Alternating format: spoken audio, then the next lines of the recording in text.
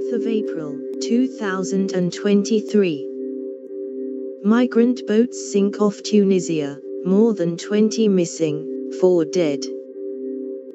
The migrants were trying to cross over to Italy from Tunisia when their boats sank. The Coast Guard said that it had rescued 53 people.